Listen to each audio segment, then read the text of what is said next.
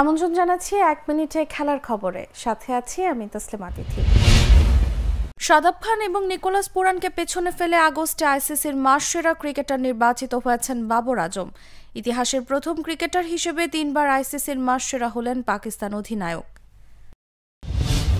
Asia কাপে pacer Haris Rauf আর নাসিম শাহের চোটে শাহনেওয়াজ দাহানি এবং জামান খানকে শ্রীলঙ্কায় নিয়ে গেছে পাকিস্তান।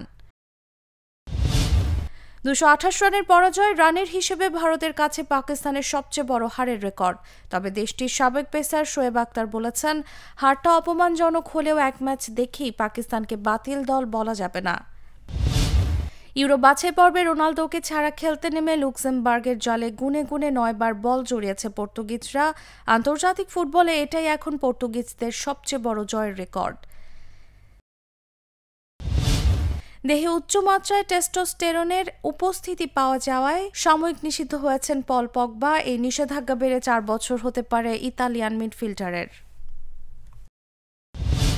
এখানে শেষ করছি। এক মিনিটের খেলার খবর। ধন্যবাদ এতক্ষণ সাথে থাকার জন্য।